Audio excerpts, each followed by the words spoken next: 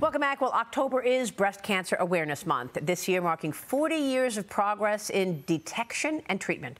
Since 1985, the American Cancer Society reports more than 517,000 lives have been saved thanks to better treatment and proactive screening.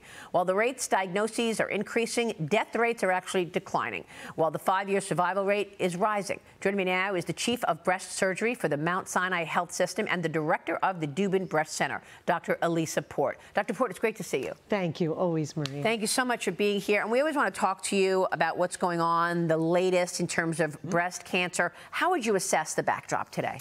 I think, um, you know, my the main word I like to use is optimism.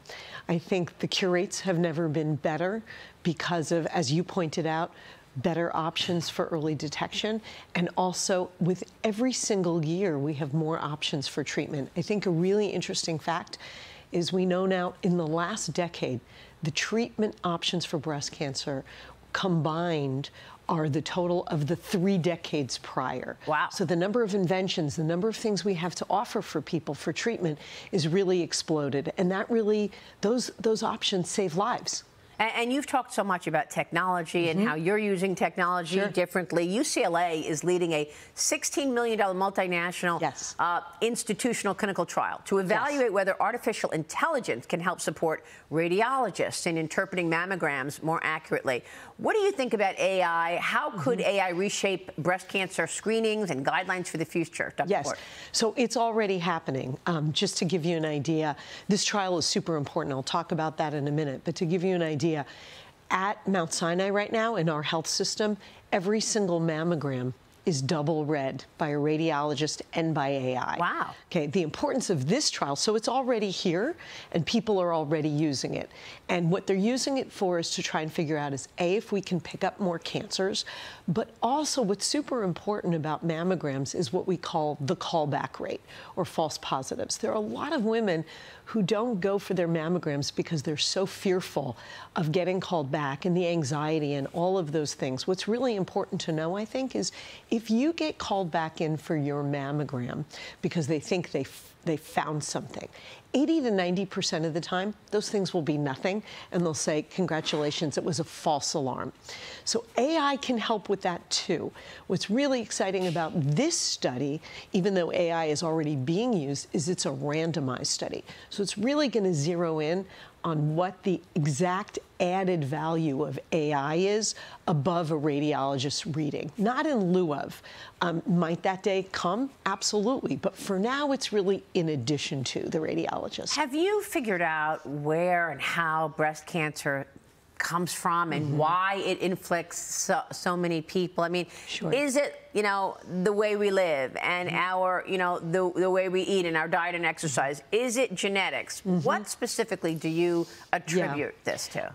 I mean, I think what we need to know is that there are different factors that affect breast cancer and breast cancer risk. Some, I always say, some we can control and some we can't. Okay, genetics, we can't control our genetics. And for sure, there's about 10 to 15% of breast cancers that are related to genetic predisposing factors we have.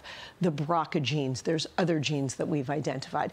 And if you have a mutation in one of those genes, you definitely have one of the highest possible risks of getting breast cancer. So getting screened for those genes is really important. But there are other factors we can control things like um, weight, things like alcohol intake. Those things also influence and increase risk of getting breast cancer. Yes, very important. Yes. Now, what is your guidance on mammograms? Because mm-hmm. we're all in mourning here at Mornings with Maria because we lost a dear friend and a mm-hmm. producer. Yes. She died at the young age of 29. Yes. Emmy Rempel. We love you so much, Emmy. Rest in peace. And she didn't know to get a mammogram yes. in her 20s. Of and course. all of a sudden, she came on so many shoots with me. Uh, we were there in Texas together, Emmy and me, and, and, and, we send our love to her family. She left us way too soon, but who mm-hmm. told her to get mm-hmm. a, a, mammogram? Nobody. She was 29. There right. she is with me when we went to the lab in Texas where they mm. were taking people's guns from illegals who were coming across mm. the border with these guns. She was a hard worker and a wonderful friend. Yeah. such a tragedy for sure. There's there's nothing I can say to you know to alleviate that pain. And for sure, Maria, there are way too many deaths related to breast cancer now. Still, even as well as we're doing. So would you the, tell young people to get a mammogram? What we're saying really is know your risk. You know, the details of Emmy's case, I don't really know, but um, what we say is start at age 40 if you have no other risk factors and do it every year. Remember, the guidelines from the United States Prevention Service Task Force are saying doing it every other year, which we feel is totally inadequate because one of the reasons why we want to start mammograms young and younger is because young women get more aggressive breast cancer. Oh. Okay. The problem is, is why tell young women to get screened, but then tell them to do it every other year, right? Makes no sense. There's right. so much that can happen in a two-year interval. So our recommendations are starting at age 40 every year. However, there are exceptions to that rule, and that is that we do start people younger if they have family histories or other predisposing factors.